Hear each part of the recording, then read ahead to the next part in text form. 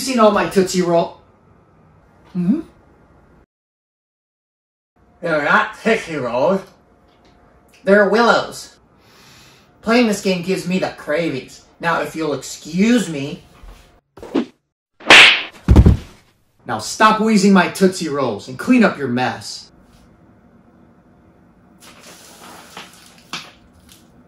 Seriously? I come here to record my show and tell everyone about the Cotton reboot, and this is what I gotta deal with? And to top it off, you're playing in widescreen. So if you haven't guessed, this week it's all about Cotton, and I'm excited.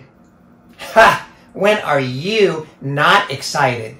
Quiet, you. In less than a month, the Cotton reboot is out, and I'll bet it's not what you think it is. There's lots of ways to play the original game, whether emulated on PC, on the new Astro City Mini, or one of the ports on the PC Engine or the PlayStation. But what you may not know is that an already enhanced port with much improved graphics and design, as well as exclusive content, already exists for a Japanese computer called the Sharp X68000. And it's really good, considered by many the definitive version of the game, even better than the arcade.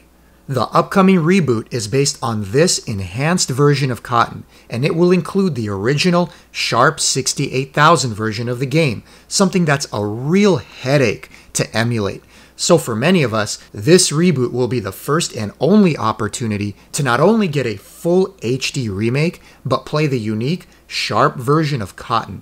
Once you've seen how the different versions compare, I'll give you a preview and my thoughts on the Cotton reboot based on all the early footage that we have so far. So hop on your broomstick and prepare for some fantastic night dreams, all for the sake of those sweet, tasty Tootsie Rolls. Let's go!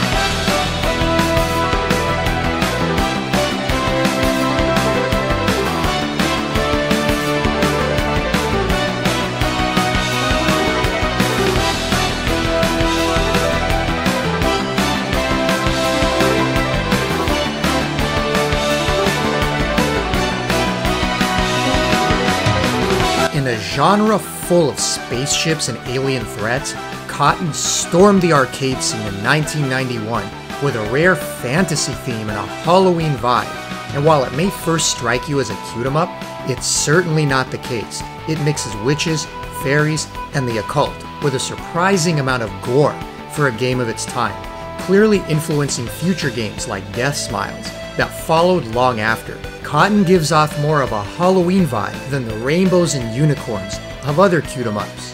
Cotton's design strength is in its creativity, from a graveyard with zombies and flying heads, ending with a boss that may have inspired Jack Skellington, to a temple filled with Icarus style archers, and a two story sphinx.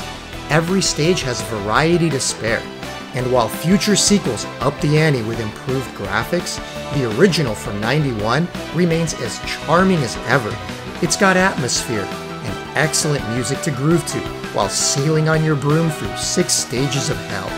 And hellish it is, as the arcade original of Cotton, Fantastic Night Dreams is no joke in the gameplay department. There's nothing cute about how the game will tear you a new one if you can't maintain your power level throughout the game, showing its roots as an arcade quarter muncher of the 90s. It's incredibly complex for a shooter of its time, mixing an experience based power up system with magic elements and projectile fairies to allow for several ways of playing.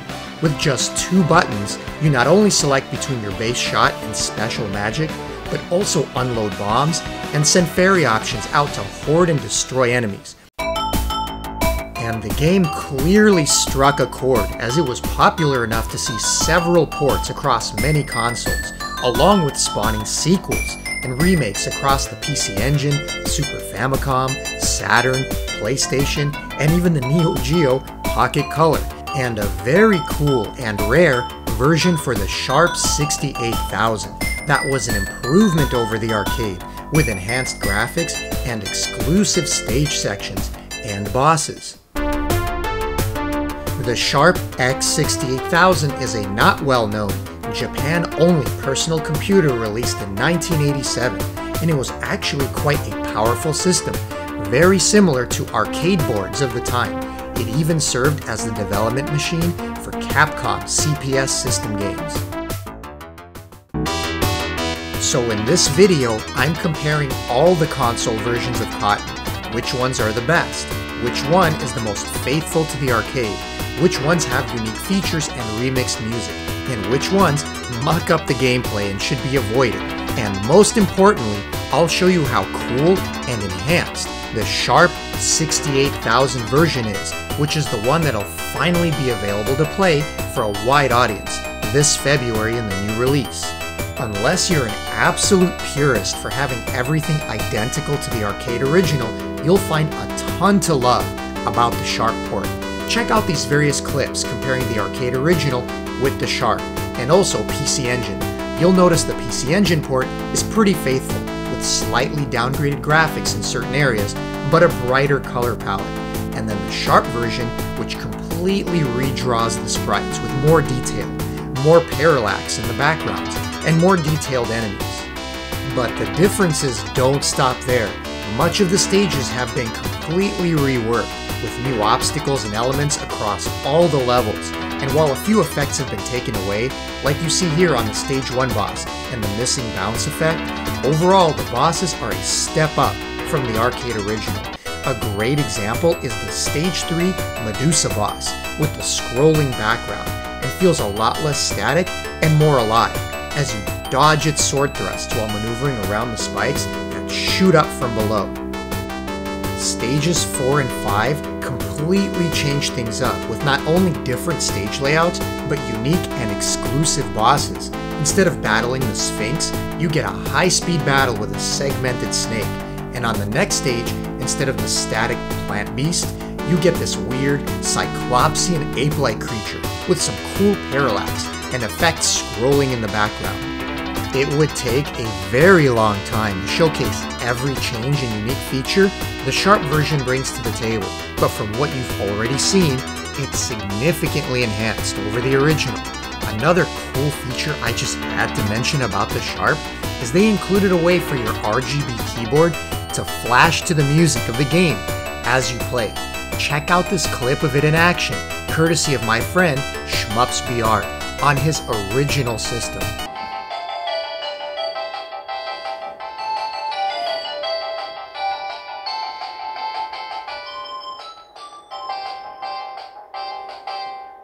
I shudder to think what that would cost as part of a special edition package.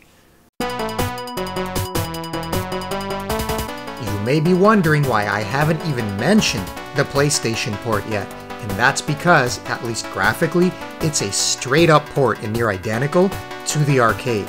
And while the music sounds a bit synthesized in comparison, the classic tunes are there and intact, but the differences are only skin deep and not what the internet would have you believe.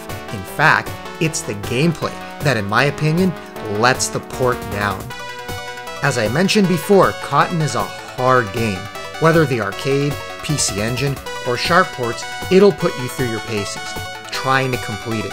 And this is where the faithfulness of the PS1 port falls apart. To be blunt, it feels like the game was nerfed. Enemies, mid-bosses, and even stage bosses all die far too quickly, without putting up much of a fight. Cotton has some tanky enemies, soaking up bullets before going down, but that's been removed here. This tree boss on stage 2 took me over a minute of firing away along with some magic to finally take down in the arcade.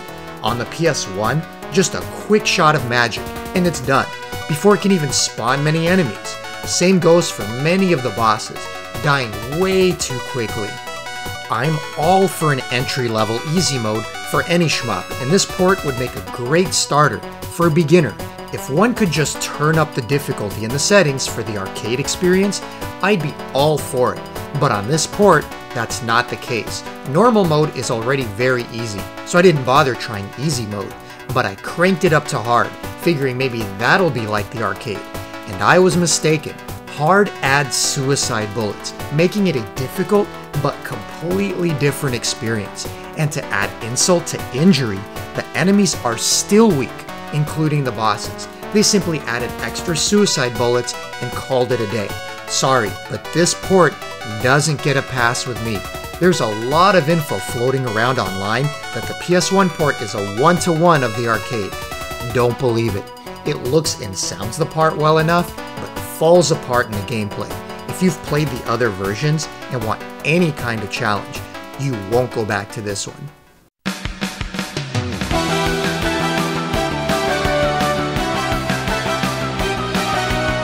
Compare that with the PC Engine port, which now goes for a very hefty price online, near $200 for the Japanese version and many times more expensive for the US Turbo Duo. And unlike the lazy PS1 port, the PC Engine version has all kinds of extra goodies that you can't find anywhere else. Overall, the graphics are about 90% versus the arcade. But the real kicker on this version are the incredible remixed music tracks. Now, I'm not normally a fan of mucking with original compositions, but whenever I hear T's music mentioned, my reservations immediately fall away, as everything they touched during those days turned to gold, and Cotton is no exception.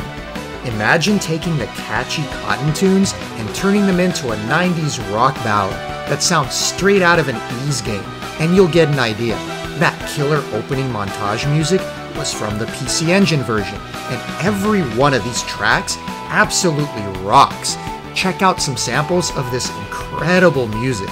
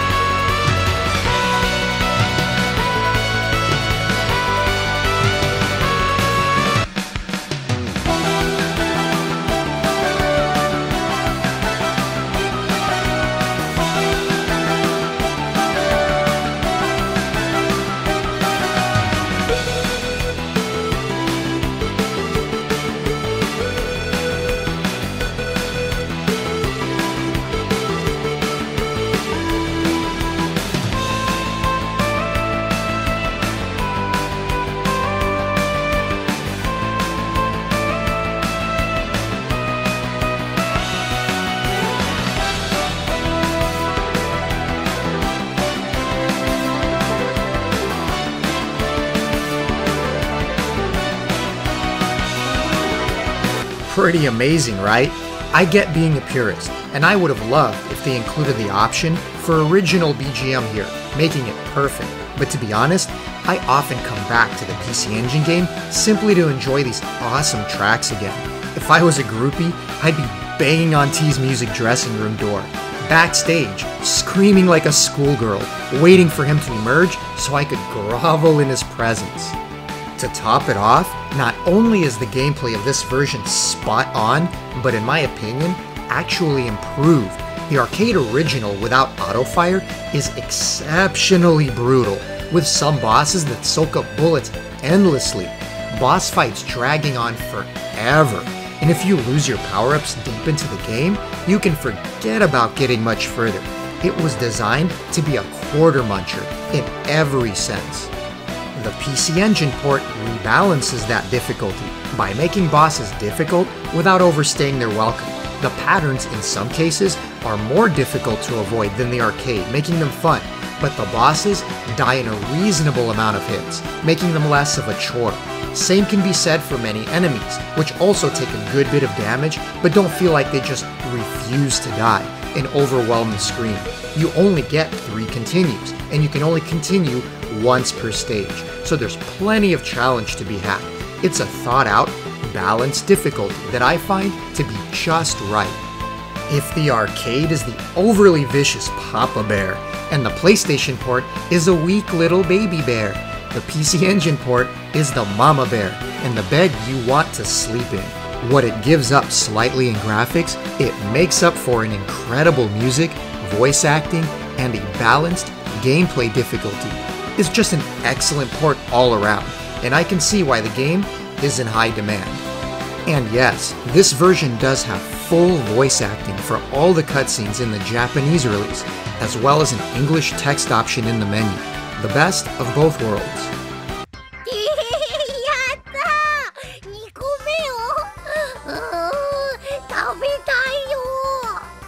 Oh, and I forgot to mention the most unintentionally ridiculous, hilarious cry Cotton makes upon death on the PC Engine.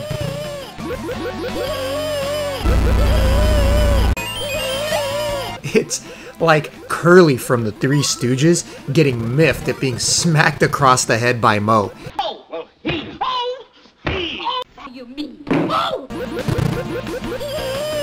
I can't get enough of that sound.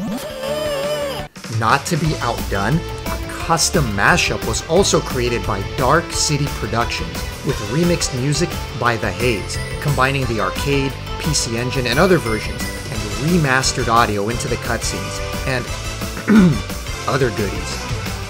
So the arcade original is a great game, but brutal without auto-fire. The PC Engine port is excellent with some great features not found anywhere else, and the PS1 port is aesthetically accurate as it should be for such a powerful console, but drops the ball on the gameplay, unless you're a baby bear looking to get your feet wet.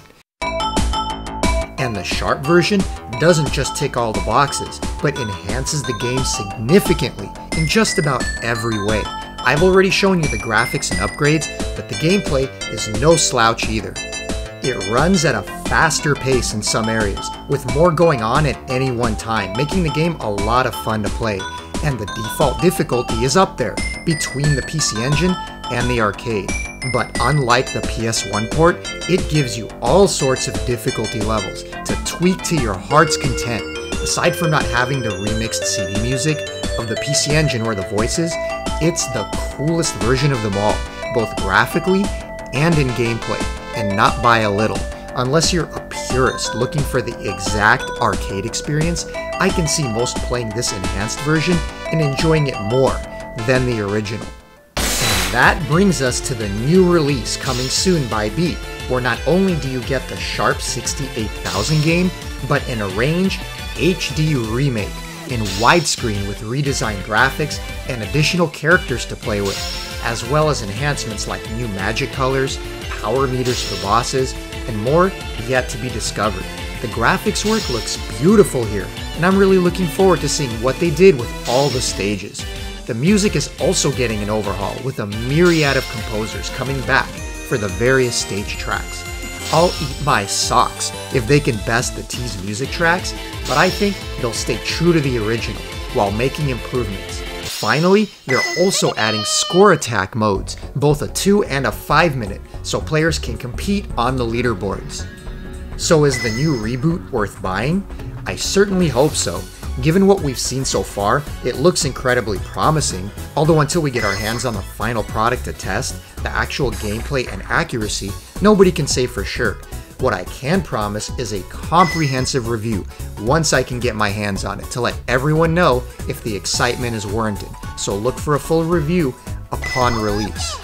If you're already looking to pre-order, there's a few versions to be aware of. I personally got mine on Amazon Japan, as it's no hassle, and they always ship quickly and on time.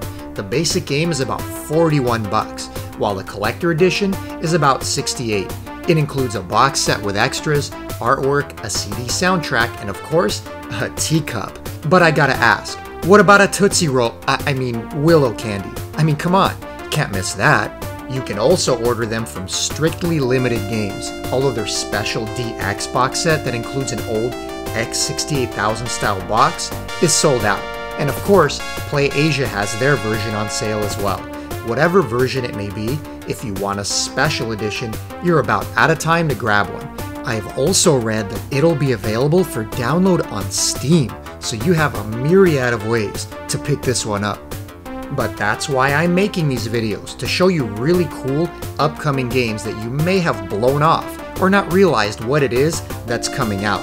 It's not just an old cotton collection or a rehash, but a definitive Sharp 68000 version that's hard to emulate and play, along with a fully enhanced HD remake of the game. If that sounds like it's worth 40 bucks to you, head on over to one of the resellers and get in on that pre-order. Or if you want to wait for my full review, look for it soon as the game releases, and I can get my hands on it. Until then, grab a handful of Tootsie Roll, er, Willow, stuff your face while playing one of the other cool versions you just saw to tide you over until February. Just don't do it in my game room with my candy and leave a mess laying around, unless you plan on bringing an offering in return. I don't know, say an X68000 so we can watch the lights dance around. I don't like Tootsie Rolls anyway, they get stuck in your teeth.